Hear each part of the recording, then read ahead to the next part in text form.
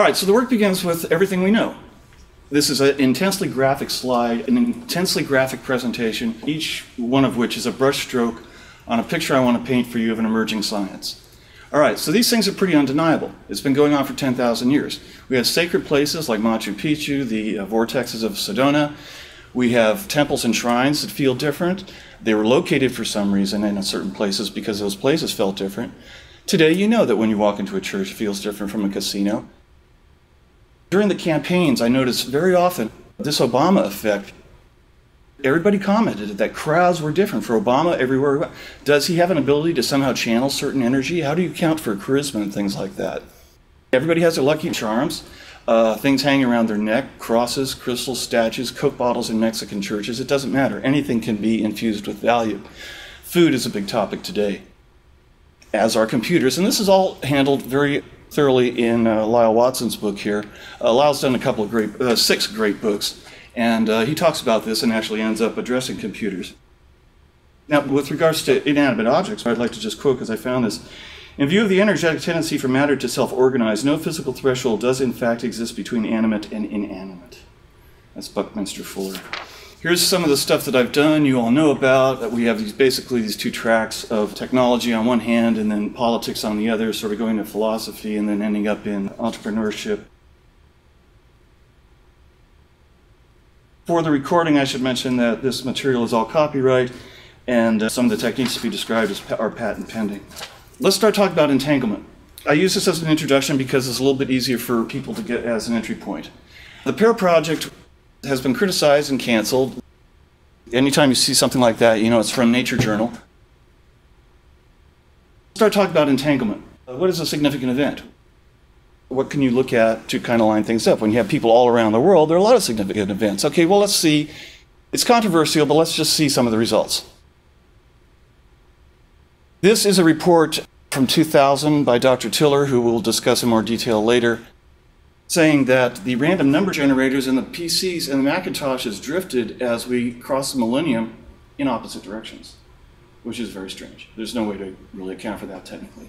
Here's another look at the data. This is GCP data. Now, the GCP system are random number generators, nine of them at the time, I believe, that were connected up at research centers, and they look statistically at the results of them and, and, and try to correlate uh, what's going on. And so you see at the millennium, you see this, this notch here. Here's a view of 911. This is the first analysis of the data. This is the standard flow, and you see this sharp thing here. But here's a second. They went back and did a second look. What's really astonishing is that besides the indication of the event, is this indication of presentiment. It starts happening before the planes hit the towers. This starts to get very extraordinary. Now let's look at the atmosphere. These are two geostationary magnetic satellites on opposite sides of the Earth. The actual positions are given here. You can see they're sort of going along doing their things until the planes hit. Everything goes crazy, and then both lines are absolutely chaotic compared to the prior. How can that happen? How can that happen except between a tight coupling between human, uh, I'll tell you what, what the theory is. The heart generates 5,000 times the magnetism of the brain. So the theory is that when you have 6 billion people undergoing stress, it couples to the magnetosphere, which weakens the ionosphere which creates global warming. And that's why, and that's what they're working on, that's what this can be important. This just came out, very fun. That's what they were expecting. My friend Jonathan Goldman was very into this. They started meditating at this point. Again, you get the pre-sentiment. Then they started meditating and climbs. Then they started singing, and it really takes off. And then I guess they ran out of breath here about four hours later. This is 61 units they now have deployed around the world.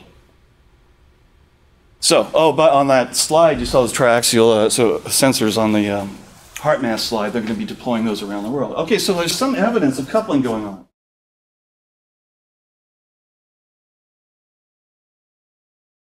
Now we're going to look at a tighter connection of possible entanglement. Now, the reason I know so much about electromagnetics is because I've been so thoroughly saturated with it. This is my ham Radio Shack uh, circa 1972. That's a 3500 watt amplifier. Those are mercury vapor rectifiers that emit X rays. uh, hand-built oscilloscope. That's the compact version. The earlier version was a 7,000 watt version in the garage, which used to light up the fluorescent lights. Absolute insanity. Robert Becker has tried to call a stop to this stuff since 1990. This is still the reference. It needs to be updated, but he's been Nobel nominated twice for it. There's no question that cell phones are dangerous to it. I can go into why. Keep them away from your heads and your kids. And if you look at the paper with your cell phone, it says if you're concerned, uh, don't use it. cell, cell radios have turned every one of us into a microwave ham radio operator. We hold these things to our heads and it, it fries us. I'm sorry, it does. Okay, at the time, so I became very concerned in the late 80s. We started spending all this time in front of CRTs. You remember those? So I started becoming reconcerned about EMF exposure. The two most credible products were this passive pendant and this active device.